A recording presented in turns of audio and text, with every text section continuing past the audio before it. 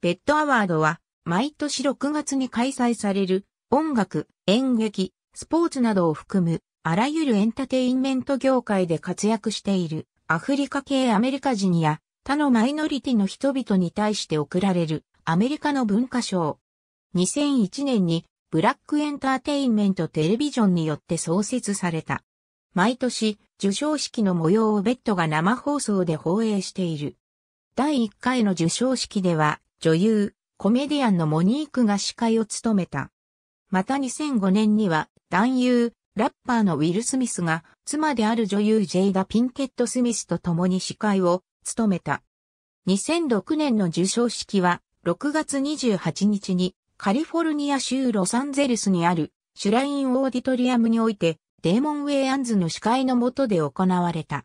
2006年の受賞式は、 BET史上最高視聴率を収めた。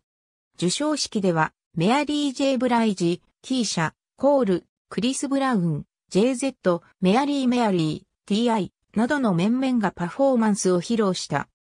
バスタ・ライムスも、自らのシングル曲、I Love My Bitch と Touch It を披露し、ケリス、ウィル・アイアム、メアリー・ジェイ・ブライジ、ラー・ディガ、ミッシー・エリオット、パプース、エミネムといった豪華な顔ぶれとの共演を果たした。